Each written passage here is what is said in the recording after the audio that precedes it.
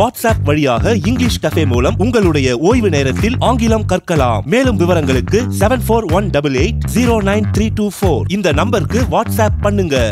மதியம் நேரம் வணக்கம். இது அரசியல் திண்ணை. நான் கூத்தடி கூப்பு திண்ணைக்கு ஒரு ஸ்பெஷாலிட்டி உண்டு. தீர்க்க முடியாத பல பிரச்சனைகளை திண்ணையில உட்கார்ந்து நம்ம ஆளுங்க தீர்த்து இருக்காங்க அதுக்காக இன்னைக்கு நம்ம வந்து விவாதம் பண்ண போறோம்னோ இல்லை யாரையும் விமர்சனம் பண்ண போறோம்னோ கிடையாது. நம்ம வந்து நிதர்சனமான சில விஷயங்களை பேசப்படும் நம்ம கூட பேசுறதுக்கு ஒரு முக்கியமான ஆள் வந்திருக்காங்க. பார்த்துருவோமா? சவுக்கு கேமராவை ஆன் பண்ணி ரோலிங் ஆக்ஷன் சொன்னா பேசுவான். கட் பண்ணனா தொட நடுங்கி சவுக்கு சங்கர் அண்ணனை ஷேக்குவாரா ரேஞ்சுக்கு சேர்த்து பேசுறாங்க. அந்த நாயெல்லாம் நான் வெளியே வந்து செருப்பு கைட்டு அடிப்பேன் நான். உன் பெத்த புள்ளிக்கு உனக்கு ரெண்டாயிரம் ரூபாய் கொடுக்கறதுக்கு உனக்கு மனம் இல்லை. ஆனா உன் ஆசை நாயகிக்கு பத்து கோடியில உனக்கு ப்ராப்பர்ட்டி வாங்கி வச்சிருக்கிற நீ மனுஷனா நீ? நீ எந்த ரெக்கார்டுமே காமிக்காம ஒட்டுமொத்தமா பெண்ணினத்தையே கேவலப்படுத்துற மாதிரி ஒட்டுமொத்த தமிழ்நாடு காவல்துறை கண்ணியத்தை கேவலப்படுத்துவா நீ பேசுறனா உன் வாயை உடைக்க தான் செய்வாங்க இந்த லேடி கிட்ட இருக்கிற பணம் பிஜேபியோட பணம். இது ஹண்ட்ரட் பர்சன்டேஜ் என்னால ப்ரூஃப் பண்ண முடியும். கஸ்தூரிக்கும் நடிகை கஸ்தூரிக்கும் உங்களுக்கு என்ன அது பர்சனல் லைஃப் கிடையாது. உன்னை போல சினிமா துறை சினிமால வந்து அவுத்து போட்டு ஆடி தேவைன்றப்ப வந்து தடவி கொடுத்து நக்கி பிடிக்கிற ஆளு கோட்டால இருக்கிறவன் கிடையாது. ஜெயலலிதா எம்ஜிஆரால உரு அண்ணாவால உருவாக்கப்பட்ட எம்ஜிஆரால உருவாக்கப்பட்டு ஜெயலலிதாவால வழிநடத்தப்பட்ட கட்சி இன்னைக்கு ஆஃப்டர் ஆல் இந்த கஜா குடிக்க நம்பி இருக்குதுன்னு தான் நாங்க கேக்குறோம்.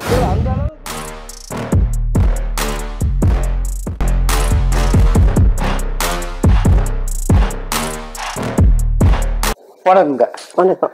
நேரா விஷயத்தையே வந்துடலாம் சவுக்கு சங்கர் அண்ணனை ஷேக்குவாரா ரேஞ்சுக்கு சேர்த்து பேசுறாங்க. இல்ல நான் இல்ல வெளியில பேசுறாங்க. அதை பத்தி நீங்க என்ன நினைக்கிறீங்க? என்ன சேகு வர ரஞ்சுக்கு? இல்ல ஒரு புரட்சியாளர்? அப்படி எதுவும் கேள்விப்படல எல்லாரும் இன்னைக்கு தமிழ்நாட்டுல சவுக்கு சக்கரை கழுவி கழுவி ஊத்துறாங்க. காரி துப்புறாங்க அந்த ஆள் பேசின பேச்சுக்கு.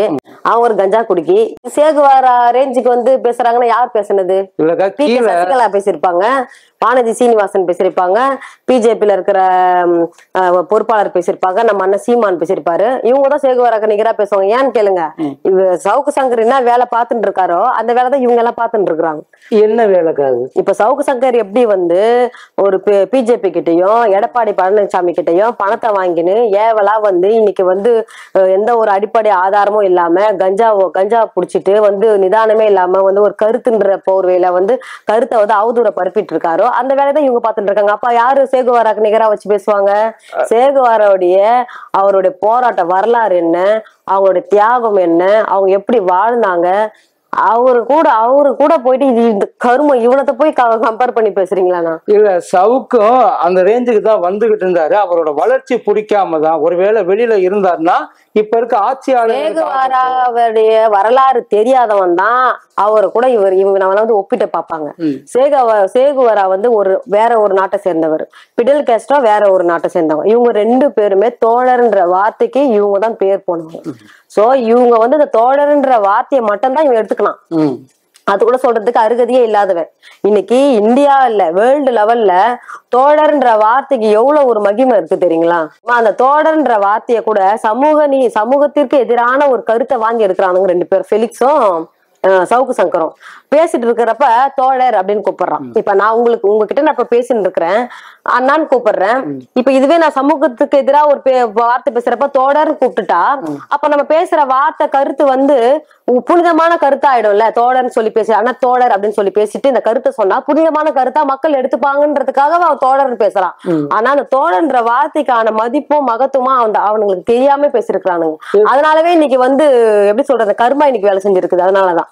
இப்ப இந்த தோழன்ற வார்த்தையை யூஸ் பண்றதுக்கு அவங்க அருகதை இல்லாதவங்கன்னு சொல்றீங்க. தமிழ்நாட்டுல ஒரு சிலர்லாம் தோழன்ற வார்த்தையே பேசுறதுக்கு அருகதை அற்றவர்கள்லாம் இன்னைக்கு தமிழ்நாட்டுல இருப்பாங்க. அதுக்கு உதாரணத்துக்கு சீமான். சீமான்லாம் என்ன தோழர் தான் கூப்பிடுவாரு. அதே போல இன்னொருத்தவன் இருக்கான் பாருங்க அந்த டைரக்டர் களஞ்சியம். அவனும் என்ன தோழர் தான் கூப்பிடுவான். இவனுங்க எல்லாம் வந்து தோழர்னு கூப்பிடுறதுக்கு அருகதை அற்றவர்கள் இவங்க எல்லாம். எதனால ஏன்னு கேளுங்கண்ணா தோழர் அப்படின்னா இன்னைக்கு இன்னைக்கு இன்னைக்கு இந்த மண்ணுல ஒரு பிரச்சனை. நம்மளுடைய தமிழ் மண்ணுல ஒரு தம் தமிழ் மண்ணுல இருக்கக்கூடிய மக்களுடைய உரிமைகள் பறிக்கப்படுது. ரெண்டாவது பெண்களுக்கு பாதுகாப்பு கேள்விக்குறியா இருக்குது. பெண்களுக்கு அச்சுறுத்தல் ஏற்படுது. நம்ம இன்னைக்கு வறுமையில பசியிலையும் நம்ம இன்னைக்கு வாடின்னு இருக்கிறோம். இன்னைக்கு நம்ம ரொம்ப வந்து எப்படி சொல்றது வந்து ஒரு பயோவார் மாதிரி இன்னைக்கு தமிழ்நாடே இன்னைக்கு கூடாரமா இருக்குன்னா தோழர்னு ஒரு வார்த்தையை நீங்க சொல்லி பாருங்க. ஒரே வார்த்தையை நீங்க கூக்குரல் கூப்பிட்டு பாருங்கண்ணா நீங்க. பல கோடி கரங்கள் வந்து நம்மளுக்கு ஏன் எதுக்குன்னே கேட்காது. அந்த தோழன்ற வார்த்தைக்கு அவ்வளவு ஒரு ஆயுதம் போல அது. நேரா ஆயுதமா அவங்க உயிரை தியாகம் பண்ணி நம்மளுக்கான உரிமையை மீட்டு கொடுத்துட்டு போவாங்க. அந்த மாதிரி தோழர்ன்ற வார்த்தை. இவன் பேசலாமா தோழன்ற வார்த்தை? இல்ல அவருக்கு அந்த நான் என்ன அந்த கேட்கறேன் உதவி தேவைப்படலாம்லக்கா அவர் என்னத்துக்கு அவருக்கு அந்த உதவி? இல்ல இந்த மாதிரி இப்ப ஒரு பிரச்சனை மாட்டிருக்காரு இப்ப தோழர்கள்லாம் வரமாட்டாங்கல்ல? அது பிரச்சனை வாய் கொழுப்பு.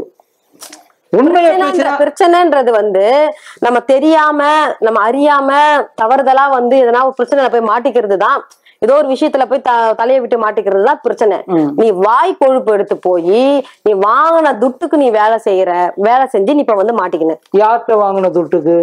பிஜேபி கிட்ட வாங்கின துட்டுக்கு எடப்பாடி கிட்ட வாங்கின பணத்துக்கு. அக்கா இந்த மாதிரி நம்ம எதுவும் ஆதாரம் இல்லாம பேச நான் ஆதாரத்தோட தான் நான் பேசுறேன். ஆதாரம் இல்லாம இந்த வீரலட்சுமி என்னைக்குமே பேச மாட்டேன் சவுக்கு சங்கர் மாதிரி இல்ல. அவன் தான் ஆதாரம் இல்லாம இன்னைக்கு வந்து அடிப்படை ஆதாரம் இல்லாம இன்னைக்கு ஒரு பிரசன்ட் ஏடிஜிபி கிட்ட வந்து மேல வந்து பொய் பொய்யா வந்து ஒரு குற்றச்சாட்டை முன் வச்சிருக்கிறான். ஒரு அவதூறு பரப்பி இருக்கிறான் அதுக்குதான் ஆதாரம் இல்ல. ஆனா இந்த வீரலட்சுமி பேசுறதுக்கு எல்லாத்துக்குமே ஆதாரம் இருக்கும். ஆதாரம் இல்லாம நான் பேசவே மாட்டேன். நான் சொன்னது பொய்யே கிடையாது. நான் உண்மையத்தான் பேசுறேன். ரெக்கார்டு காமி. உண்மையை பேசுறதுக்காக Record ஒரு- ரெக்கார்ட காமி நான் என்ன கேக்குறேன்? ஒரு ஏடிஜிபி இந்த மாதிரி வந்து ஒரு லஞ்சம் வாங்கியிருக்கிறாரு.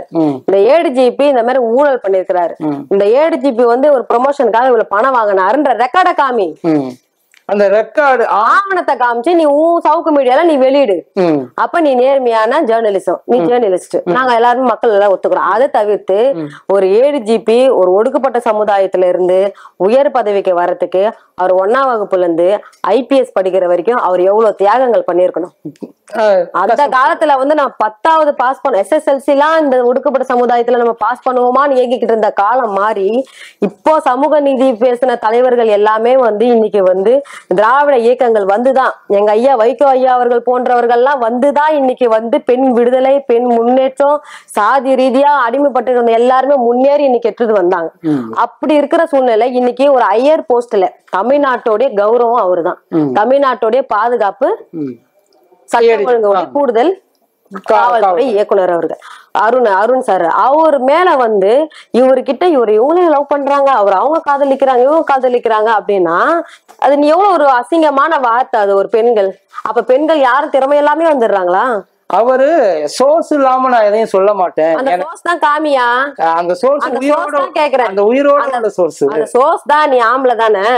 நீ ஒரு வெளிப்படையா ஒரு மீடியா முன்னாடி பேசுறல அப்ப அந்த சோர்ஸ நீ கேமரா முன்னாடி காமிச்சிட்டு நீ பேசு உன்னை யார் உள்ள தூக்கி வைக்க போறா?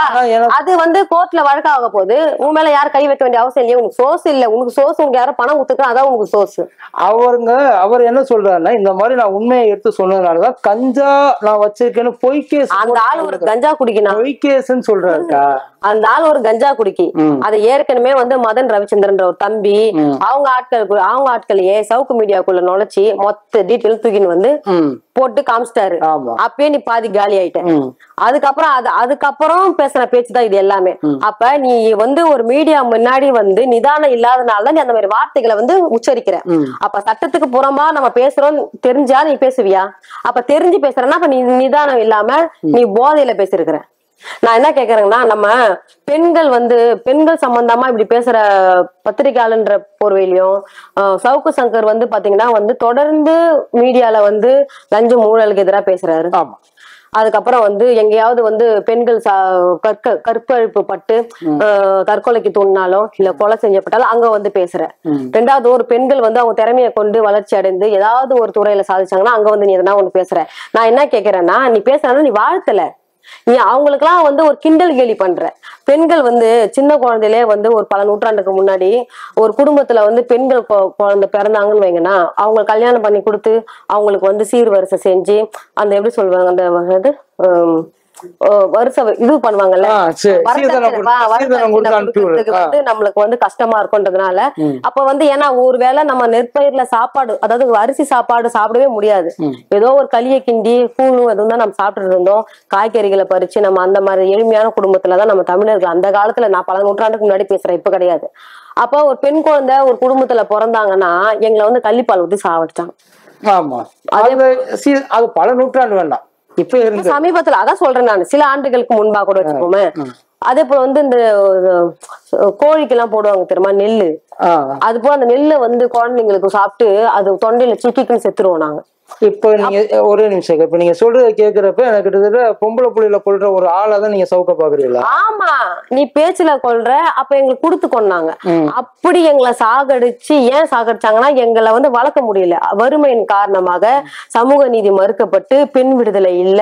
அப்ப ஜாக்கெட் கூட போட முடியாம சூழ்நிலையில வாழ்ந்து இருந்த எங்களை சமூக நீதிகள் சமூக நீதி அமைப்பு உருவாகி திராவிட இயக்கம் வந்து தமிழ்நாட்டுல உருவாகி எங்களை வந்து மீட்டு எடுத்து இன்னைக்கு வந்து கல்வியிலையும் பொருளாதாரத்துல நாங்க முன்னேறி இன்னைக்கு பல சாதனைகளை படிக்கிறோம். இன்னைக்கு ஆண்களுக்கு நிகரா உடல் வலிமையிலும் மன வலிமையிலும் இன்னைக்கு நாங்க வந்து ஜெயிச்சு வந்து ஒரு ஸ்டாண்டர்டா ஒரு இடத்துல நின்று இன்னைக்கு நான் இங்க உட்காந்து அரசியல் கட்சி தலைவரா நான் பேசுறேன்னா அதுக்கு பெரிய தந்தை பெரியாரும் அறிஞர் அண்ணா காமராஜர் கக்கன் ஜீவா போன்றவர்கள் தான் காரணம். இப்ப நீங்க சொல்ற ஸ்டேட்மெண்ட் நான் எடுத்துக்கிறேக்கா நீங்க சொல்லுவீங்க அதாவது பெண்களை வந்து சவுக்கு நசுக்கிறாப்புல பெண்களை சவுக்கு இழிவுபடுத்துறாப்புல. இந்த மாதிரி சவுக்கால பாதிக்கப்பட்ட பெண்கள் யாராவது இருக்காங்களா? சவுக்கால பாதிக்கப்பட்ட பெண்கள் தான் நிறைய பேர் இருக்கிறாங்களே? இன்னைக்கு நான் என்ன கேக்குறேன்னா நீ பெத்த குழந்தை உனக்கு ரெண்டாவது மனைவி இருக்கிறாங்க முதல் மனைவி போயிட்டாங்க போல இருக்கு. அதுக்கப்புறம் நீ இரண்டாவது மனைவி ஒருத்தர் திருமணம் பண்ற. இது கூட வந்து அவரோட அந்தரங்க வாழ்க்கையை நம்ம பேசல. அது பொது வெளிக்கு வந்துடுச்சு. அதனால நான் பேசுறேன். நான் யாருடைய குடும்ப விஷயத்துல நம்ம மூக்க நுழைக்க கூடாது இப்போ அந்த அம்மா வந்து நீதிமன்றத்துக்கு போயிட்டு போராடிட்டு இருக்கு எவ்வளவுக்கு? ரெண்டாயிரம் ரூபாய். பணத்துக்கு. உன் பெத்த புள்ளிக்கு உனக்கு ரெண்டாயிரம் ரூபாய் குடுக்கறதுக்கு உனக்கு மனம் இல்ல. ஆனா உன் ஆசை நாயகிக்கு பத்து கோடியில உனக்கு ப்ராப்பர்ட்டி வாங்கி வச்சிருக்கிற நீ மனுஷனா நீ? மனுஷனா நீ மிருகமா நீ? ஆனா பிரிஞ்சுட்டாரு இல்லைங்களா? இப்ப ஆசை நாயகி கூட ஜீவனாம்சம் கொடுக்கறதுக்கு நீ ஜீவனாம்சம் அவங்க கேட்டு கொடுக்க கூடாதுன்னா நீ பெத்த பிள்ளைக்கு நீ மீடியா மீடியாவா போயிட்டு நீ வாங்கி துண்ணி வாங்கி துண்ற நீ அதை வச்சு பேசுற நீ சமூக நீதி பேசுற சமத்துவத்தை பேசுற அது மாதிரி பொய்யும் புரட்டமா பேசுற. அப்ப உன் பெத்த பிள்ளைக்கு வந்து உனக்கு ஜீவனாம்சம் கேட்டு தான் நீ கொடுப்பியா? அப்ப உன் ஆசை நாயகிக்கு கேட்காம பத்து பத்து கோடி ரூபாய் உனக்கு ப்ராப்பர்ட்டி வாங்கி வைக்கிறனா உன்னுடைய மனசும் உன் மூளையும் எப்படி இருக்குது? அப்ப நீ வந்து பத்திரிக்கையாளர்னா நீ? மொத்த பணத்தை அவங்கள்ட்டே கொடுத்துட்டாரு போல. ஆஹ் அதனால இங்க கொடுக்கறதுக்கு காசு இருக்கு அப்படி இல்லைன்னா அதுக்கெல்லாம் ஒரு மனம் இருக்கணும். நம்ம பெத்த பிள்ளையாச்சே. நம்ம குழந்தை ஊன் ஜ- ரத்தம் தானே. உன் ரத்தம் தானே? நீ தானே பெத்த? அதுக்கு ஏன் கல்யாணம் பண்ற? ஏன் குழந்தை பெத்த? எனக்கு ஒரு சந்தேகம். இந்த பத்து கோடி ரூபான்னு சொல்றீங்க இல்லைங்களா? இப்ப நிறைய பேர் சொல்றாங்க அறுபது கோடின்றாங்க நூறு கோடின்றாங்க நூத்தி ஐம்பது கோடி ரெக்கார்டுக்கெல்லாம் இப்ப இருக்கிறது வந்து பத்து கோடி ரூபாய்க்கு மேலதான். நான் வந்து ஒரு- இதுவா சொல்றேன் ஒரு கணக்கா சொல்றேன். நானா சொல்றது ஒரு கணக்கு போட்டு அந்த வேல்யூ வச்சு. ஆனா அந்த ஆளு பல பேர் பேர்ல பல இடங்கள்ல யாரு கொடுத்த பணத்துல கருப்பு பணத்துல இவன் பினாமியா இருந்து எங்கெங்க பணத்தை ப்ராப்பர்ட்டிஸ் எல்லாம் வாங்கி வச்சிருக்காங்க நான் டீட்டெயில் கலெக்ட் பண்ணிட்டு தான் இருக்கிறோம். இப்ப அப்போ ஒரு சாதாரணமா வந்து உன் தந்தை இறந்த உடனே தந்தையுடைய வேலை தான் உனக்கு விஜிலன்ஸ்ல கிடைச்சிருக்குது. அதுவும் உனக்கு சாதாரண கிளர்க்கு. ஒரு டைபிஸ்டா கிளர்க்கோ உன் போஸ் அடிக்க அப்படி இருக்குது உனக்கு. அப்ப நீ இந்த கிளர்க்கா இருந்துட்டு நீ வந்து பத்து கோடி ரூபாய் நீ பல கோடி ரூபாய் நீ சம்பாரிச்சியா இத்தனை வருஷத்துல? அதுலயே பாதி நாள் நீ ஜெயில போய் கழி தின்ன. ஏதோ ஒரு ஆடியோ ரிலீஸ் ஆகி போயிட்டு நீ கழி தின்னீங்க கழி தின்ன வச்சாங்க. அதுக்கப்புறம் வந்து ஏதோ மறுபடியும் போனேன் எங்க எங்கேயோ பணத்தை வாங்கினேன் எங்கேயோ ஒரு மீடியால பேசின்னு வாயிலேயே வடை சுட்டு இருந்தேன் மறுபடியும் தூக்கி குண்டாசுல தூக்கி உன்னை உள்ள வச்சாங்க உன் வாய் கொழுப்புக்கு. நீதிபதிகள் வீட்டுல வேலை செய்யற அந்த ஓஏ பெண்களை கொத்தி நீ பேசின. அதுக்கு தூக்கி உள்ள வச்சாங்க. இப்ப மறுபடியும் வெளியே வந்து அதே போல வந்து அதாவது அரசு பதவியில இருக்கவங்களை கரெக்டா டார்கெட் பண்றியே. அரசு பதவியில இருக்கவங்க என்ன மாதிரியான அரசு பதவியில இருக்கிறவங்கள்ட்ட இப்ப- அவன் ஏற்கனவே என்ன சொன்னான் நீதிபதிகள் வீட்டுல வேலை செய்யற பெண்களை குறித்து தவறு பாத்தியா? இப்ப விலைக்கு புடிச்சியா? தப்புல அதெல்லாம். நீ போய் பாத்தியா? அப்ப உங்க அம்மா அந்த மாதிரி போயிருப்பாங்களோ? உங்க அக்கா தங்கச்சி அப்படி போயிருப்பாளா? இவனுக்கு இவனுக்கு ஒரு அக்கா இருக்கா தெரியுமா உங்களுக்கு? அந்த ஆள் அவங்க அக்கா வீட்டுக்காரர் கூட இப்ப ஏதோ பிஜேபில காங்கிரஸ்ல இருக்கிறாருன்னு நினைக்கிறேன். சரி. சரி ஆ அப்போ இப்படி மத்த பெண்கள் நான் கட்சி தலைவரா விடுங்க. நான் ஒரு பெண்ணா. உன் உன் அக்கா அப்படி போனாளா? ம்ஹும். அது அம்மா சரி. அப்படி போனாளா? அது நம்ம பே- அவருக்கு அவர் அப்ப நீ அப்ப நீ மத்த பெண்களை நீ எப்படி பேசுவ? அப்ப உன் வாயை உடைக்கணுமா உடைக்க கூடாதா கைய உடைச்சிருக்காங்க. கையெல்லாம் யாரு உடைச்சது? பார்த்தாங்க பாத்தீங்களா? அவர் அவர் அவரு எதை வேணாலும் பேசுவாருங்கண்ணா. அவர் சிறையில இருந்து வெளியே வந்தானே மீடியா கேமரா பார்த்தவனே ஏதாவது ஒண்ணு சொல்லி சிம்பத்தி கிரியேட் பண்ணி அனுபதாவாலிய அதை வந்து உருவாக்குற கேரக்டர் தான் சவுக்கு சங்கர். எப்பவுமே பாருங்க சிறையில இருந்து வெளியே வந்தவொடனே நம்ம சிறைக்கு போகும்போது நம்ம சிறையில வந்து ஒரு ரெண்டு நாள் ஒரு ஃபார்ட்டி ஃபார்ட்டி எயிட் ஹவர்ஸ் நம்ம சிறைக்குள்ள இருக்கிறப்ப நம்ம பண்ண தவறு நம்ம வந்து ரிவைண்ட் பண்ணி பார்க்கணும். ஆமா. நம்ம என்ன பேசணும்? அப்ப ஏன்னா உங்க போதை தெரிஞ்சிட்டு இருக்கும். அரெஸ்ட் பண்ணவனும் போதை தெரிஞ்சிட்டு இருக்கும். அப்படிதான் இருப்பாருன்றீங்களா? அப்படிதான் இருக்கிறான் அந்த ஆளு. ஆளு நீங்க பாருங்களேன் அந்த மீடியால இப்ப கஞ்சா பக்கத்துல வச்சிருப்பான் போல இருக்குது. எடுத்து பிடிப்பான் போல இருக்குது. அதுவும் கேர் ஆயிடும் போல இருக்குது. அதுக்குள்ள ஏதாவது பேசி வளரி வைக்கிறான். அப்புறம் மாட்டிக்கிறான். அப்ப என்ன அவன சிறையில யோசிக்கணும். அச்சோ நம்ம ஒரு ஏடிஜிபி இப்படி பேசிட்டோமே. நம்ம இந்த பெண் காவலர்கள் இப்படி பேசிட்டோமே. தவறே. நம்ம இதுக்கு ஆதாரம் இருந்து நம்ம பேசுறதுக்கு பேச பேசியிருந்தா நம்மள யாரும் எதுவும் பண்ணிருக்க மாட்டாங்க. ஆதாரம் இல்லாம பெண் காவலர்கள் எல்லாருமே டோட்டலா நீ சொல்றன்னா உனக்கு எவ்வளவு திமிரு அகங்காரம் இருக்கும் உனக்கு? அதனாலதான் மொத்த பொண்ணுங்களையும் வச்சு கைது பண்ணி கூட்டிட்டு வந்தாங்களோ? மொத்த அத வர்றப்போ வேன்ல வெறும் பொண்ணுங்க பெண் பெண் போலீஸா இருந்தாங்க. அவங்க கூட நீங்க ஒண்ணு போட்டிருந்தீங்கன்னு நினைக்கிறேன். ஆமா ஒரு நரி புலிகள் வந்து ஒரு நிறைய தூக்கிட்டு வந்த மாதிரி இருக்குதுன்னு சொல்றேன் அந்த அதான் கூப்பிட்டு வந்தாங்கன்னா கூட கொஞ்சம் இடம் தள்ளுறா உட்கார்றா அப்படின்னு சொல்லிட்டு ஏதாவது ஒரு முறைச்சிருப்பாங்க இல்ல அடிச்சிருப்பாங்க. பெண் காவலர்கள் எவ்வளவு கண்ணியமா அவரை எவ்வளவு சும்மா சங்கிலி போட்டு கை சங்கிலி போட்டு சும்மா பாதுகாப்பா கூட்டு வந்தாங்க பாத்தீங்களா? இது நீங்க பெருமையா சொல்ற மாதிரி தெரியல சவுக்கு அவமானப்படுத்துற மாதிரி ஆனா நான் ஏன் அவமானப்பட்டேன் பெண்களை பத்தி எவ்வளவு அவர் வந்து அக்கறையா பேசியிருக்கிறாரு. பெண்களை குறித்து எவ்வளவு வந்து நாகரிகமா பேசியிருக்காரு. அவருக்கு நம்ம அவமானப்படுத்த வேண்டிய அவசியம் இல்லையா? அந்த நாயெல்லாம் நான் வெளியே வந்து செருப்பு கைட்டு அடிப்பேன் நானு. அவனை வேற அவமானம் வேற நான் படுத்தணுமா நான்? வாட்ஸ்அப் வழியாக இங்கிலீஷ் கஃபே மூலம் உங்களுடைய ஓய்வு நேரத்தில் ஆங்கிலம் கற்கலாம். மேலும் விவரங்களுக்கு seven four one double eight zero nine three two four இந்த நம்பருக்கு வாட்ஸ்அப் பண்ணுங்க. இல்ல எதுக்கு இவ்வளவு வன்மம் அவர் மேல? அவருக்கு தெரிஞ்சத அவருக்கு யாரோ சொன்னதை நான் என்ன. கேக்குறேன்னா தனி நபர் தனி நபரை யாராவது நீ பேசியிருந்தேன்னா அவங்களாச்சு நீயாச்சு. இப்போ இப்ப உங்களை பேசுறாருன்னு வைங்க. நீங்க இப்படி அப்படின்னு சொன்னாருன்னா நீங்களாச்சு சவுக்கு சங்கராச்சு நீங்க ரெண்டு பேரும் அச்சு மாளுங்க. ம். ஏடிஜிபி பத்தி நீ பேசுனா அவரை பத்தி பேசு. நீ அவர் தவறு பண்றத நீ ரெக்கார்டிக்கெல்லாம் சுட்டி காட்டு. இப்ப நான் கூட தான் ஒரு ஐஏஎஸ் கலெக்டர் வருமானத்துக்கு அதிகமா அவன் சொத்து தேய்ச்சி வைக்கிறாங்க. லஞ்ச ஊழல ஈடுபட்டு ஈடுபட்டிருக்காங்க. ஆர்பிட்ரேஷனரா இருந்து அவங்க ஊழல் பண்ணிருக்காங்க. அவங்க குடும்பத்துக்கே வந்து அவங்க வந்து பில்லு போட்டு கவர்மெண்டோட லேண்ட் வாங்கி பணத்தை வந்து மோசடி பண்ணிருக்காங்கன்னு விஜிலன்ஸ்ல கொடுத்துருக்கிற இன்கம் டேக்ஸ்ல கொடுத்துருக்கிறேன். அது அவங்களுக்கு எனக்கும் உள்ள பிரச்சனை. நீ ஒட்டு மொத்தமா பெண் காவலர்களை குறித்து பெண் இசைகள் குறித்து அப்போ தமிழ்நாட்டுல இருக்கக்கூடிய பெண் இசைகள் எல்லாருமே வந்து promotional inspector DSP ADSP SP DIG IG ADGP DGP லெவல்ல போற பெண்கள் எல்லாருமே இது போல ஹையர் ஆபீசர் கிட்ட அட்ஜஸ்ட்மெண்ட் பண்ணி தான் போயிருப்பாங்கன்னு நீ சொல்றேன்னா அப்ப உனக்கு எவ்வளவு வந்து வன்மமான எண்ணம் உனக்கு? இப்போ இந்த ஸ்டேட்மெண்ட்ல சாதாரணமா ஒரு ஆள் சொல்ல முடியாது. அதாவது இப்ப நீங்களோ நானோ ரொம்ப அசால்ட்டா இந்த விஷயத்த சொல்லிட முடியாது. இப்படி ஒரு மனுஷன் சொல்றான் அப்படின்னா அவனுக்கு பின்னாடி எந்த விதமான பின்னாடி வந்து ரெண்டு பேக்ரவுண்ட் இருக்குங்கண்ணா. ஒண்ணு எங்களுடைய மனசுல பட்ட வரைக்கும் வந்து எங்க மக்கள் பேசுனது பிரகாரம் நான் சொல்றேன் பாருங்க. சவுக்கு சங்கரும் ஏடிஜிபி அருண் அவர்களும் வந்து ஒரே கம்யூனிட்டி.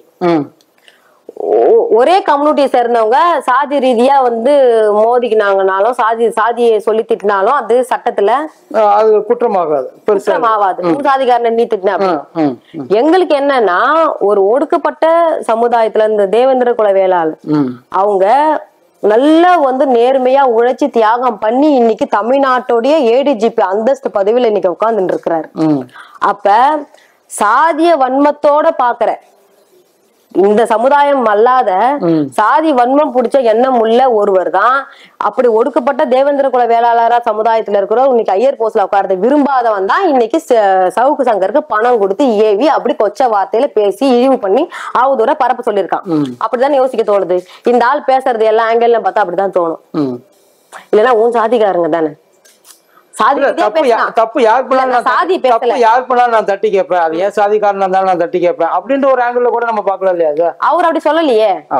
அவர் அந்த மென்ஷன் பண்ணி சொல்லல. யாருக்கு பேர் உணர்வு இருக்கும் நம்ம குடும்பத்துல இருந்து ஒருத்தர் இப்ப இவ்வளவு ஒரு பதவியில இருக்காருன்னா. நம்ம குழந்தைங்களுக்கும் அது ஒரு முன் உதாரணமா இருந்து பெருமைப்படணும்.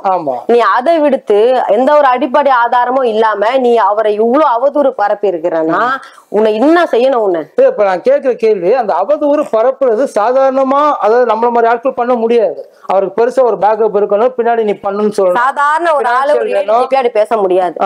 அது சவுக்கு ஒரு டம்மி பீஸ் வாய் தான் அவனுக்கு. நான் சொல்றேன் பாருங்க. இல்லண்ணா. சவுக்கு கேமராவை ஆன் பண்ணி ரோலிங் ஆக்ஷன் சொன்னா பேசுவான். கட் பண்ணனா தொட நடுங்கி. நான் சொல்றேன் பாருங்க. நான் சொல்றேன் நான் இப்படி ரெட்டை நான் வாழ்க்கை வாழ பதினேழு- வயசுல இருந்து இந்த பொலிட்டிஷியன்ல இருக்கிறேன் நானு. நான் எவ்வளவு ரவுடிங்களை பார்த்துட்டு வந்திருப்பேன். எவ்வளவு அரசியல்வாதியை தாண்டி வந்திருப்பேன். ஜெயலலிதாவையே நான் தாண்டி என் மேல எவ்வளவு அடக்குமுறையெல்லாம் அந்த பொம்பளை ஏவுச்சு. அதெல்லாம் தாண்டி இன்னைக்கு வந்து சிங்கிளா ஒரு பொண்ணு நான் உட்காடுறேன்னா எனக்கு இருக்கிற வீரம் தைரியம் தன்னம்பிக்கை தான். எனக்கு எனக்கு யாருமே சப்போர்ட் கிடையாது. எனக்கு எந்த பொருளாதாரமும் கிடையாது. போன பத்து வருஷத்துக்கு முன்னாடி பத்து வருஷத்துல அதிமுக கவர்மெண்ட்ல நான் வளரக்கூடாதுன்னு என்னுடைய சங்கம் தொழிற்சங்கம் வச்சிருந்தேன். என் தொழிற்சங்கத்தை பேன் பண்ணாங்க. எந்த ஒரு காரணமே இல்லைன்னா என்கிட்ட வந்து ஒரு ஐம்பதாயிரம் பெண்கள் இருந்தாங்க. ஓ. ஒரே தொகுதியில. தொகுதி சொல்ல விரும்பல. ஒரே தொகுதியில ஐம்பதாயிரம் பெண்கள். நான் அப்படி சிட்டிக்கு போட்டேன்னு வைங்க. கலெக்டர் ஆபீஸ்ல வந்து ஐயாயிரம் பெண்கள் அப்படி அட்டன் டைம்ல ஒன் ஹவர் வந்து நிப்பாங்க. ஐயாயிரம் அந்த ஐம்பதாயிரம் பெண்களும் யாரு? எல்லாம் வந்து கூலி தொழிலாளர்கள். அந்த தொழிலாளர்களுக்காக வந்து அரசால பதிவு பெற்ற ஒரு தொழிற்சங்கமா அதாவது independent Indian national labour union சொல்லிட்டு கவர்மெண்டால முன்னூத்தி இருபத்தி மூணு டிவிஆர்னு அங்கீகரிக்கப்பட்ட ஒரு தொழிற்சங்கம். அந்த தொழிற்சங்கத்துல அந்த 50,000 தொழிற்சங்கம் ஆமா அந்த தொழிற்சங்கத்துல நான் தான் தலைவி. தலைவரா இருந்தேன். அப்ப லஞ்சம் ஊழலுக்கு எதிராகவும் போராடிட்டு இருந்தேன். அந்த வில்லேஜ்ல அதாவது இல்லாதப்பட்ட தாழ்த்தப்பட்ட மக்களுக்கு பட்டா இல்லைன்னா நான் கருப்பு கொடி அப்போ கருப்பு துணி தான் போட்டிருப்பேன். ஏன்னா எனக்கு பெரியார் மேல மிகுந்த பற்று. ஏன்னா பகுத்தறிவு பகலவன் அவரை பின்பற்றி சமூக நீதிக்காக நான் போராடினேன். அதனால அந்த உடையில வந்து நான் வந்து போராடுவேன் நான். கருப்பு கொடியெல்லாம் அந்த வில்லேஜ்ல எல்லாம் ஏத்தி இன்னைக்கும் அவங்களுக்கு பட்டா வாங்கி கொடுத்தது எப்போ? இருபது வயசு பத்தொன்பது வயசுல வாங்கி கொடுத்தேன் அவங்களுக்கு. இப்ப கிடையாது. அப்ப கவர்மெண்ட் யாருன்னு பாத்தீங்கன்னா வந்து கலைஞர் ஐயா. ஒரு கோரிக்கை தான் வைப்பேன். ஏதாவது ஒரு சேனல் அப்ப இவ்வளவு சேனல் யூடியூப் வலைவலி எல்லாம் கிடையாது. ரெண்டாயிரத்தி ஆறு ஏழுல சொல்றேன் நான். அப்ப இவங்க கவர்மெண்ட் ஏதாவது ஒரு சேனல்ல எடுத்து எதனா குறிப்பெடுத்துன்னு போயிடுவாங்க. இப்ப இருக்கிற ஐஎஸ் இருக்காங்களா அப்போ வருவாங்க. எஸ்பிசி ஏடி ஐஎஸ்ன்னு வருவாங்க. அவங்க என்ன பண்ணுவாங்க? குறிப்பெடுத்துன்னு போயிட்டு எப்படியோ அவங்க நாலேஜுக்கு போயிடும். உடனே பட்டா கொடுப்பாங்க. நான் சொல்ற கோரிக்கை உடனே ஏத்துப்பாங்க. ஏன்னா அரெஸ்ட் பண்ண மாட்டாங்க என் போராட்டத்தை ஒடுக்க மாட்டாங்க என்ன ஒடுக்க மாட்டாங்க என்னமா பண்ண மாட்டாங்க? இந்த பொண்ணு ஏதோ சின்ன பொண்ணு வந்து இவ்வளவு பெண்களை திரட்டி வந்து போராடுறா. அது இன்னான்னு கேளுன்னு சொல்லி அனுப்புவாங்க போல இருக்கு. எத்தனை பேருக்கு இந்த மாதிரி பட்டா வாங்கி கொடுத்துருக்கீங்க? ஒரு நாலஞ்சு வில்லேஜ்ல வாங்கி கொடுத்துருக்கிறேன். நிறைய பெண்களுடைய வாழ்க்கைக்கு வந்து நீங்க போராட்டம் பண்றேன்றீங்க. ஆக்சுவலி போராட்டம் பண்ணி ஒரு விஷயத்த சாதிக்கிறதுன்றது வேற. அரசோட கவனத்துக்கு கொண்டு போய் அந்த விஷயத்த சாதிக்கிறதுன்றது வேற. போராட்டம்னாலே அரசுக்கு எதிராக முன்னெடுக்கிறதுக்கு பேர் தான் போராட்டம். கோரிக்கை அரசுக்கு எதிரா இல்ல. அரசுக்கு போராட்டம்ன்றது கோரிக்கை அப்படிதான் இல்ல போரா போராட்டம்ன்றது வந்து கண்டன போராட்டம்ன்றது வேற. ஜென்ரலா ஒரு போராட்டம் அது அமைதி போராட்டமாவே. இருக்கும். அது அரசு ஒரு போராட்டம்னு வந்துட்டாலே ஒரு விஷயம் நமக்கு நடக்காதத நம்மளா முன்னெடுத்து எனக்கு இது வேணும்னு அடம் பிடிச்சி. அரசாங்கத்தை எதிர அடம் ஆமா ஆமா. அது அது அரசாங்கத்தை எதிர்த்தாப்புல உள்ளது. எதிர்த்தா மாதிரி கூட வச்சுக்கலாம். ஆமா. அப்படி அரசாங்கத்தை எதிர்த்தா ரெண்டாயிரத்தி ஆறுலயே வந்து நான் பத்தொன்பது இருபது வயசுல நான் எதிர்த்து நான் போராடி அதை நான் வென்று இருக்கிறேன் இல்ல அதை எதிர்க்கிறப்போ அரசாங்கம் உங்களுக்கு எப்படி சப்போர்ட் பண்ணுதுன்றது தான் அந்த கேள்வி. சப்போர்ட் கிடையாது. அந்த பொண்ணு அந்த அந்த வீரலட்சுமி வந்து ஒரு போராட்டம் பண்ணி கருப்பு கொடி ஏத்திருக்கிறாங்க. என்னன்னு போயிட்டு அந்தந்த தாலுக்கால இருக்கிற தாசில்தார் அனுப்பி விசாரிச்சாங்க. விசாரணையில தாசில்தார் வந்து என்ன சொல்றாருன்னா அந்த வில்லேஜ்ல இருக்கிற தாழ்த்தப்பட்ட மக்களுக்கு பட்டா இல்லைங்கய்யா. அதனால அந்த அம்மா வந்து போராடுதீங்க. அதுக்கு கருப்பு கொடி ஏத்தி எங்களெல்லாம் தாவா இருக்குதுங்கன்னு சொல்லியிருப்பாங்க போல இருக்கு. உடனே என்ன பண்ணுவாங்க? கரெக்டானு கேக்குது கோரிக்கை. நம்ம ஆட்சியில அப்படி இருக்கலாமா? உடனே பட்டா போட்டு கொடுன்னு எங்க ஐயா சொல்லுவார் போல இருக்கு. கலைஞர் ஐயா போட்டு கொடுத்தாங்க. அது போல போராட்டங்கள்லாம் நான் இப்ப இல்லைங்க. நான் அப்பத்துல இருந்தே நான் போராடிட்டு தான் இருக்கிறேன். எங்க மேல ஏதாவது வழக்கு போட சொல்லுங்க. ஒரு வழக்கும் கிடையாது. எனக்கு அதாவது திமுக கவர்மெண்ட் அப்ப இருந்தது வரைக்கும் என் மேல வழக்கு கிடையாது. என்ன ஃப்ரீயா வந்து போராட்டம் பண்ண விடுவாங்க. என் கோரிக்கை செய்து அப்ப இருந்த அமைச்சர்களும் அப்படிதான். தாமோ அன்பரசன் அண்ணன் வந்து தொழிலாளர் துறை அமைச்சர். அவர் கலந்துட்டு இருந்த ஒரு நலத்திட்ட உதவி விழாலேயே நான் கண்டனம் தெரிவிச்சிருக்கிறேன். அப்படியே கூப்பிட்டு என்னன்னு பாருப்பா இந்த மாதிரி எல்லாம் பண்றாங்க பாருப்பா அப்படி அப்படியே மிரட்டுவேன். ஏன் இப்போ ஏன் ஏன்னு கேளுங்க என் மக்களுக்கு உனக்கு கிடைக்கல. என் மக்கள் பாதிக்கப்படுறாங்க என் மக்களுக்கு கொடுக்குற பணம் என் மக்களுக்கு சேரலன்னா நாங்க போய் நிப்பேன் நான் கதிக்க நான் கேட்பேன் நான். அப்போ உடனே நிறைவேற்றி கொடுத்தாங்க. ஏன்னா நான் கேட்கறது கரெக்ட் என் தோணி தான் வந்து அதட்டலா இருக்குமே கண்ணே நான் கேட்கிற கேள்வி வந்து கரெக்டா நியாயமா இருக்க பண்ணி கொடுத்தாங்க. அப்போ கவர்மெண்ட் மாறுறாங்க. பத்து வருஷத்துல பத்து வருஷம் அதிமுக கவர்மெண்ட் ஜெயலலிதா கவர்மெண்ட் அப்போ என்னுடைய சங்கம் வந்து இந்த மாதிரி பண்ணுது. எங்க பாரு இந்த பெண்களை கூட்டு போய் இந்த மாதிரி எல்லாம் போராட்டம் பண்றாங்க. கலெக்டர் ஆபீஸ்ல வந்து முற்றுகையிடுறாங்கன்ன உடனே உடனே வந்து இந்த அம்மா கவர்மெண்ட்டுக்கு வந்து ரெண்டு மாசத்துலயே என்னுடைய சங்கத்தை வந்து பேன் பண்றாங்க. எதுக்காக உங்க எவ்வளவோ விஷயங்கள் இருக்கிறப்ப இந்த சங்கத்தை பேன் பண்ண வேண்டிய அவசியம்? அப்போ வந்து தொழிலாளர் துறை அமைச்சர் கலந்து இருந்த ஒரு ஃபங்க்ஷன்ல நலத்திட்ட உதவி வந்து சீனியாரிட்டி பிரகாரம் கொடுக்கல. அதுல ஊழல் நடந்திருக்குது. ஊழல் பண்ணி அந்தந்த அதிகாரிகளை வந்து ஆட்டையை போட்டுன்னு போறாங்கன்னு போஸ்டர் தூக்கி காமிச்சோம். ஓகே. அது எல்லா மீடியால ஃபிளாஷ் ஆச்சு. அது இன்னும் அந்த பேப்பர் இருக்கு. நான் காமிக்கிறேன். உங்களுக்கு வாட்ஸ்அப் பண்றேன். அப்ப என்ன பண்றாங்க? அரசாங்கத்துக்கு களங்கு ஏற்படுத்துற வகையில இவங்க போராட்டம் பண்ணாங்க. அப்படின்னு அதுக்கு சங்கத்தை பேன் பண்ணமா நீ? வழக்கு போடணும். தான் போடணுமே. பதிவு பெற்ற சங்கத்தை நீ பேன் பண்றதுக்கு உனக்கு என்ன ரைட்ஸ் இருக்குது? அப்ப உனக்கு அதிகாரம் இருக்கிறதுனால நீ சங்கத்தை பேன் பண்ண. இப்ப பேன் பண்ணீங்க. ரெண்டாவது பத்து வருஷம் நான் இந்த மண் இந்த மண்ணுக்காக நான் மக்களுக்காக தொடர்ந்து நான் போராடினேன். இந்த லஞ்ச ஊழலுக்கு எதிராக அதிமுக அரசாங்கத்துக்கு எதிராக நான் தொடர்ந்து போராட்ட காலத்திலே தான் இருந்தேன் நான். அப்ப அவங்க என்ன பண்ணாங்கன்னா இந்த பொண்ணை வளர விடக்கூடாதுன்னு என் கூட இருந்த பொறுப்பாளர்கள் மீது கட்சி தொண்டர்கள் மீது எல்லார் மேல வந்து பொய் வழக்கு போட்டாங்க. அவங்க பயந்தாங்க. ரெண்டாவது எனக்கு பொருளாதாரத்தை முற்றிலுமா முடக்குனாங்க. எந்த விதத்துல? பொருளாதாரத்தை முடக்கலாங்க எல்லாம் எனக்கு எங்கெல்லாம் வரும் வருமானம் எனக்கு எந்த அளவு வர்றதெல்லாம் கிடையாது. பொருளாதாரம் வராத அளவுக்கு என் மீது வழக்கு போட்டு நான் தினமும் நான் நீதிமன்றத்துக்கு போனா எனக்கு எப்படி பொருளாதாரம் வரும்? ஒரு விவசாயம் கூட தான் சொல்லுங்க. ஏதோ ஒண்ணு வச்சு நான் தொழில் செய்யறேன் ஏதோ நான் வந்து சுயமா ஏதோ தொழில் செய்யறேன்னு வைங்க. எல்லாத்தையுமே வந்து வழக்கு போட்டு என்ன அங்கேயும் இங்கேயும் அலைய விட்டா நான் என்ன செய்யறது? ஒரு பெண்ணு. என் கட்சி பொறுப்பாளர் மேல எல்லாம் போடுற வழக்கு.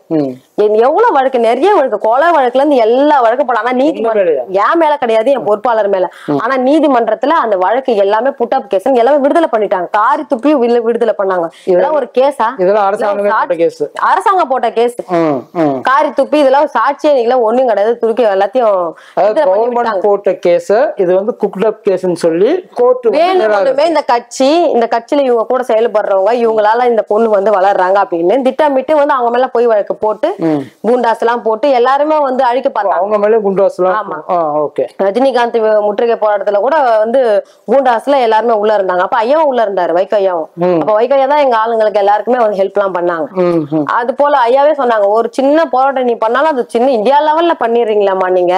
அந்த அளவுக்கு வந்து உங்களுக்கு பின்னாடி இளைஞர் படை இருக்குது. நீங்க வந்து உங்களுடைய குரல் வந்து சட்டமன்றத்துல நாடாளுமன்றத்துல ஒழிக்கணுன்றதுக்காக தான் ரெண்டாயிரத்தி பதினாறுல ஐயாவே கூப்பிட்டு எனக்கு சீட்டு கொடுத்தாங்க. பம்பர சின்னத்துல போட்டிட்டு அந்த கூட்டணியிலேயே யாருமே வாங்காத வாக்கு நான் வாங்கினேன். மூணாவது பதினாறாயிரத்தி சில்லற வாக்கு வாங்கினேன்.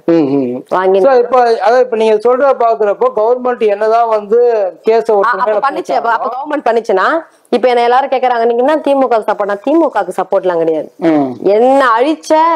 என்ன ஒடுக்குன அந்த கட்சி இன்னைக்கு இல்ல. அப்ப நான் என்ன பண்ணுவேன்? ரிவெஞ்ச் எடுத்து பழி வாங்கினா பழி வாங்க மாட்டேனா யாரை அந்த கட்சியை மட்டும் இல்ல அந்த கட்சிக்கு துணியா இருக்கிறான் பாரு அவனையும் சேர்த்து பழி வாங்குவேன். சோ அவர் இப்ப சவுக்கு சங்கர் வந்து ஐயா எடப்பாடி கூட தான் இருக்காரு. ஆமா. கன்ஃபார்ம் உலகறிந்த இல்ல இல்ல நான் ஒரு டவுட்டுக்கா இன்னொரு தடவை கேட்டுக்கிறேன்க்கா. வேற எதுவும் இல்ல. அது கன்ஃபார்ம் கன்ஃபார்ம் அவங்க தான் பணம் கொடுத்து அவங்களுக்கு டைரக்டா வந்து திமுக கவர்மெண்ட்டை எதிர்க்கிறதுக்கு இவ்வளவு. பெரிய ஒரு கட்சி ஆஃப்டர் ஒரு அந்த அவ்வளவு பெரிய கட்சி எம்ஜிஆர் நம்பி அததான் கேக்குறேன் நடத்துதுன்றீங்களா அவ்வளவு பெரிய கட்சி ஜெயலலிதா எம்ஜிஆரால உரு அண்ணாவால உருவாக்கப்பட்டு எம்ஜிஆரால உருவாக்கப்பட்டு ஜெயலலிதாவால வழிநடத்தப்பட்ட கட்சி இன்னைக்கு ஆஃப்டர் ஆல் இந்த கஞ்சா குடிக்க நம்பி இருக்குதுன்னு தான் நாங்க கேக்குறோம் அந்த அளவுக்கு வந்து அவங்க யாரும் உள்ளுக்குள்ள இருக்கிறவங்களுக்கு எல்லாம் வந்து சவுக்க நம்பிதான் கட்சி அந்த யாருக்கும் அந்த கட்சியில அறிவுள்ள தலை சில அண்ணனுங்களா இருந்தாங்க. எனக்கு தெரிஞ்சு ஆஹ் இப்ப பிஜேபிக்கு போயிட்டாரு அவரு.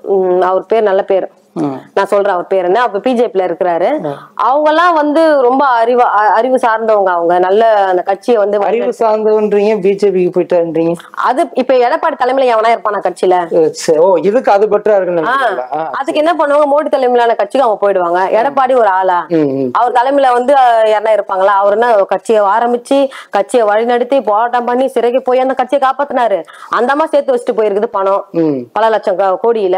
நீ அதை வச்சு நீ மேனேஜ் பண்ணிட்டு அதுல நீ வந்து எல்லாருக்கும் கட்டி குத்துன்னு வாழ்ந்துன்னு இருக்கிற நீ கவர்மெண்டா இருக்கிறப்ப நீ எவ்வளவு ஆட்டைய போட்ட? மணல் அல்றதுக்குனே நீ டாரஸ் லாரியை வாங்கி வச்சிருந்த. அதை எதிர்த்து நான் போராட்டம் பண்ணா எனக்கு சின்ன வயசு நாற்பத்தஞ்சு நாள் குழந்தைய கூட பா- கத்துக்கி என்ன உள்ள வச்சுங்க. வேலூர் ஜெயில்ல. ஆனா இப்போ சவுக்கு சங்கர் அதுக்கு அதுக்கு எதிர்த்தாதானே போராட்டம் பண்ணிட்டு இருக்காப்ல போராட்டம் பண்றது வேறனா போராட்டம் போதை பொருள்.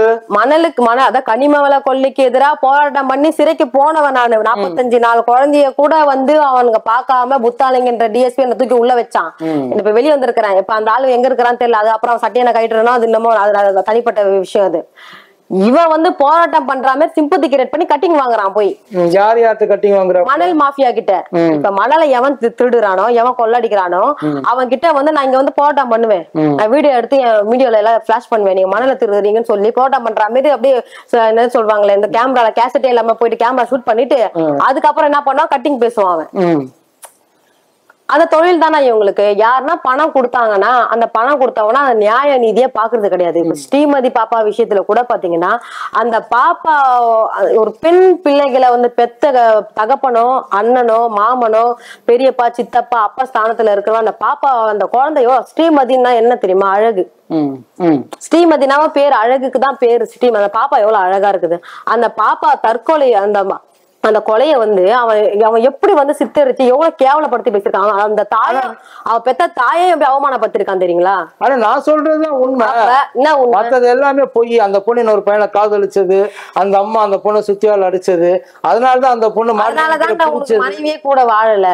இது மேலதான் நீ பேசுறதுனாலதான் கட்டின மனைவி கூட உன் கூட வாழாம நீ எங்கெங்கயோ போயிட்டு அவர். அவர் கூட அவர் கட்டின முத மனைவி வாழல ரெண்டாவது மனைவி வாழல. மூணாவதா ஒருத்தவங்க இருக்காங்க. அததான் கேக்குறேன். உன் கூட எந்த பெண் வாழ்வா? இப்படி ஒரு ஒரு வக்ர புத்தி வச்சுன்னு இருக்கிற இந்த வக்ரமான ஒரு எண்ணம் உள்ள ஒருத்தவங்க கூட எந்த பெண் எந்த ஒழுக்கமான பெண் எவனா வாழ்வாளா? ஒழுக்க கெட்டவதான் வாழ்வா? ஒழுக்கமான பெண் எவனா வாழ்வாளா? அந்த பாப்பா வந்து கொலை செய்யப்பட்டு அந்த குழந்தை இறந்து போச்சு. அதுக்கு நீதி கேட்டு தாய் ஒரு கருவுல சுமந்த பெண்ணுக்கு தான் ஒரு வலி தெரியும். அவ பத்து மாசம் சுமந்து அந்த குழந்தை பிறக்கிறப்ப ஏற்படுற வலி இருக்கு பாருங்க. அந்த வலி அவனால உணர உணர முடியுமா? ஆனா இத்தனை பேர் எதிர்த்து நின்னுங்க. அவர் நின்னதுக்கான ஒரு காரணம் என்ன? இவ்வளவு பேர் எதிர்த்து சொல்றாங்க. இல்லங்க இது தப்புங்க. அதுக்கான மணி. அவன் உதவியாளர் அந்த தம்பி முக்தார் அண்ணா பேட்டியில சொல்றாப்புல. என்ன சொல்றாரு? காரு வருமா? எங்கன்னா போவாங்களாம் அந்த கல்லூரி ஓனர் வருவாராம். வந்து பேசி ஒரு ரெண்டு சூட்கேஸோ ஒரு சூட்கேஸோ கொடுத்து அந்த ஆளை சொல்லி எல்லா டிவிலையும் வந்து ஃபிளாஷ் பண்ண சொன்னாங்க. எந்த டிவிலும் ஃபிளாஷ் பண்ண மாட்டாங்க. ஏன்னா உண்மைக்கு மாறான தகவல் எந்த ஊடகம் ஃபிளாஷ் பண்ண நேர்மையா அறம் சார்ந்த ஊடகம். இந்த சவுக்கு மீடியாவும் இந்த ரெட்ஃபிக்ஸ் தான் அதை வந்து ஃபிளாஷ் ரெட் அந்த ஃபெலிக்ஸும் வந்து கூட போயிருக்கிறாரு. ஃபெலிக்ஸ் மட்டும் யோகியமான ஆள்லாம் கிடையாது. அது அவங்க மனைவிக்கே தெரியும். இல்ல அவங்க அப்படி சொல்லு தன்னுடைய கணவர் வந்து கேவலமானவன். பெண்களுக்கு எதிரானவன் அப்படின்னு அந்த அம்மாவுக்கு தெரியும். நல்லாவே தெரியும். ம். ஃபெலிக்ஸோடைய மனைவி அங்க வந்து நீங்க அந்த அரெஸ்ட் பண்ணி போனப்பெல்லாம் நீங்க பார்க்கணுமே. அவ்வளவு தூரம் ஓடி அலறி அடிச்சுட்டு ஓடி வந்து என்ன பண்றது கணவராச்சு? குழந்தைங்க இருக்குல்ல. இன்ஷியலுக்காச்சும் புருஷனை மீட்டு மீட்கணும்ல? இப்போ ரெட் அங்க பெலிக்ஸ் மேல என்ன குற்றம் இருக்குன்னு நீங்க நினைக்கிறீங்க? அவர் என்ன தப்பு பண்ணிட்டாரு? சவுக்கு சங்கர் பேசுனதை விட அத ஒளிபரப்பு பண்ணவன் தான் முதல் குற்றவாளி என்ன பொறுத்த வரைக்கும். நான் சொன்ன கருத்து தான் நீதிபதியே சொல்லியிருக்கிறாரு. இது நீதிபதி சொன்ன கருத்து நீங்க சொன்னீங்களா? நீங்க நான் சொன்னதுக்கு பிறகுதான் நீதிபதியே சொன்னாரு. நான் நான் நீதிபதி கூட என்ன கூப்பிட்டு கேட்கட்டும் நான் ஒரு சேனல்ல நான் பேசுறேன். எனக்கு வந்து சவுக்கு சங்கரை நீங்க கைது பண்றதுக்கு முன்னாடி முதல் குற்றவாளி ஃபெலிக்ஸ் தான். அவனை தான் ஃபர்ஸ்ட் நீங்க கைது பண்ணிருக்கணும். ஏன்னா தவறு பண்றவன் தவறு பண்ண தூண்டுறவன் தான் முதல் குற்றவாளி. அப்ப நீ பேசுறதை விட நீ வந்து ஒரு வலையொலி வச்சிருக்கிறனா? உனக்குன்னு ஒரு கட்டுப்பாடு இருக்கும்ல. நீங்க எடிட் பண்றப்ப இதுதான் பேசணும் சொ- வெளியில வந்து பப்ளிக் வந்து விடணும்னு உனக்கு அது தெரியும்ல அப்படி இல்லைன்னா உன் சேனல்ல முடுக்குவாங்களா இல்லையா? இப்போ நீங்க பேசுறீங்கக்கா. நீங்க பேசுனதுக்கு நீங்க பொறுப்பா நான் பொறுப்பாக்கா? நான் பேசுறதுக்கு நான் பொறுப்பு. அதை வெளியிட்டா அதுக்கு நீங்களும் தான் பொறுப்பு. அது இப்ப நான் வல்கரா நாலு வார்த்தை பேசுறேன் அப்படின்னா நீங்க அதை போடுவீங்களா? இல்ல அது போட முடியாது. ஆனா நீங்க போடுவீங்களா போட மாட்டீங்களா? நீங்க பேசுறத தப்பு. நிதானமா பேசுங்க அப்படின்னு இப்ப நீங்க தடுக்கணும். ஆமா. தடுக்கணும். அதையும் நான் மீறி பேசணும்னா எடிட்டர் என்ன பண்ணுவாரு? அதை பீப் போடுவாங்க. ஆமா அதுதான் நல்ல நேர்மையான ஊடகத்துக்கு அறம் சார்ந்த ஊடகத்துக்கு அழகு. இல்ல நம்ம இந்த வந்து பணம் வாங்கிட்டேன். பணம் ஒருவேளை நீங்க சொன்னது உண்மை நான் நம்பி இருக்கலாம் இல்லையா? ரெக்கார்டு வச்சு காமிக்கணும்ல கேமரா அது முன்னாடி. அவர்கிட்ட தானே நீ- கேட்கணும். அது நான் நீங்க தான்- கேட்கணும். தான்- மீடியா தானே. இப்ப நீங்க சொல்றீங்க நீங்க சொல்றீங்க. நான் பண்றது நான் ஒரு தப்பு பண்றேன் நீங்க சொல்றீங்க. சரி ஓகே. அதை வந்து எல்லாரும் நம்பிடுவாங்க இல்லைங்களா? இப்ப நான் தப்பு பண்ணா இல்லையா நிரூபிக்க வேண்டியது உங்களோட கடமை. அதை கேட்டுக்கிட்டு இருந்த என்னோட கடமை கிடையாது இல்ல. அப்படி கிடையாதுண்ணா. நீங்க கேட்டாலும் நீங்க வந்து அந்த அவங்க என்ன பேசுறாங்களோ அந்த பேசுறதுக்கான அதாவது வந்து சாதாரணமா தனிநபர் குறித்து பேசுறதா நீங்க கேட்க வேண்டிய அவசியம் கிடையாது. இது தனிநபர் விஷயம் கிடையாது. இது ஒட்டுமொத்தமா வந்து பெண்ணினத்தையும் காவல்துறை கண்ணியத்தையும் கெடுக்கிற விஷயம் இது. அப்ப நீங்க என்ன பண்ணணும்? இப்படி ஒரு இன்சிடென்ட் வந்து நீங்க பேசுறீங்க. இப்படி ஒரு விஷயத்த வந்து நீங்க கருத்துன்ற இதுல வந்து நீங்க சொல்றீங்க. அப்ப நாளைக்கு இதை நான் என்னுடைய செய்தியில ஒளிபரப்பணும். நாளைக்கு எனக்கு பிரச்சனை வரும். நீங்க அந்த ஆதாரத்தை கொடுங்க. அதை நான் சைட்ல போட்டு காமிக்கிறேன். ஆனா இது அப்படிதான் கேட்பாங்க. இல்ல அப்படிதான் கேட்பாங்க. நான் நிறைய ஊடகத்துல நானே நிறைய விஷயங்கள்ல நான் ரெக்கார்டிக்கெல்லாம் வந்து நான் வீடியோ காமிச்சிருக்கிறேன். கரெக்ட் எனக்கு கூட நிறைய பேர் ஆபாச வீடியோ அமைச்சிருக்காங்க அந்த ஆபாச வீடியோ எங்கிட்ட கேட்பாங்க. நான் நிறைய மீடியாஸ்க்கு அனுப்பிச்சு அதை வந்து பிளட்டிங் பண்ணி போட்டிருக்காங்க. ரெக்கார்ட் இல்லாம உனக்கு யாருமா நீ போய் குற்றச்சாட்டு பண்ற நீ சீமான் மேல. இவங்க மேல பொய்யா சொல்றேன்னு கேள்வி கேட்பாங்க. அப்ப என்ன பண்ணுவேன் ஏன் நான் ஏன் போய் சொல்லணும்? எனக்கு அமைச்சிருக்கான் பாருன்னு சொல்லிட்டு நான் எடுத்து காமிச்சா அவங்க பிளட்டிங் பண்ணி போட்டாங்க. இதுதான் ஒரு ஊடகம்னா. இந்த மாதிரி இவங்க பண்றது ஒண்ணும் புதுசு இல்லையே. இதுக்கு முன்னாடி இவங்க பண்ணது எல்லாமே இப்படித்தானே இருந்திருக்கு. அப்ப யாரும் எதுவும் கொந்தளிக்கலையே? இப்ப இதுக்கு முன்னாடி யாரும் அப்படி பேசல? யார் அவங்க ரெண்டு பேரும். யாரு? நீங்க சொன்ன அதே ஃபெலிக்ஸா இருக்கட்டும் சவுக்கா இருக்கட்டும் இவங்க ரெண்டு பேரும் பேசுனது எதுவுமே. இது வரைக்கும் ஆதாரம் இல்லாம இன்ஃபேக்ட் கிளாம்பாக்கம் பஸ் ஸ்டாண்ட் இருக்கு இல்லைங்களா?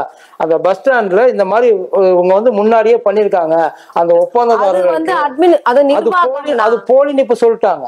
அந்த ரெக்கார்டு தூக்கி தனி மனித காமிச்சிருக்காங்க. தாக்குதலுக்கும் ஒரு நிர்வாக கோளாறு நடந்த ஊழலுக்கும் வித்தியாசம் இருக்குது.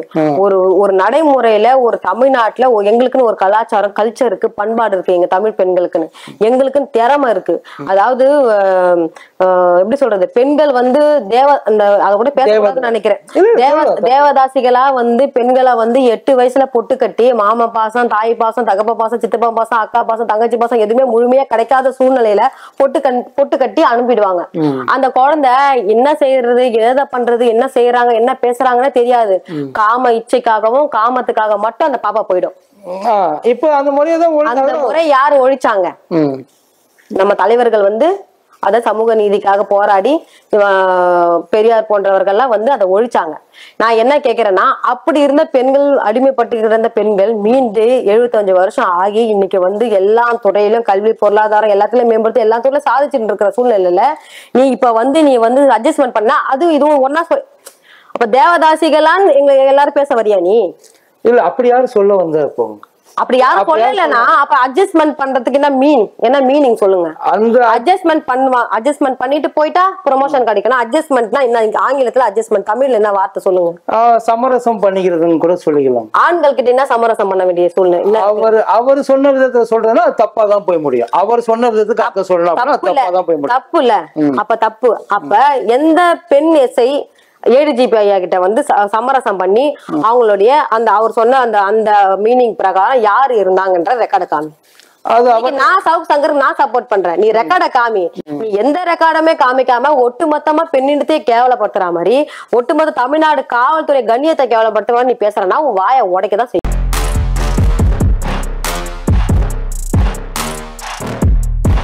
வாட்ஸ்அப் வழியாக இங்கிலீஷ் கஃபே மூலம் உங்களுடைய ஓய்வு நேரத்தில் ஆங்கிலம் கற்கலாம். மேலும் விவரங்களுக்கு seven four one double eight zero nine three two four இந்த நம்பருக்கு வாட்ஸ்அப் பண்ணுங்க.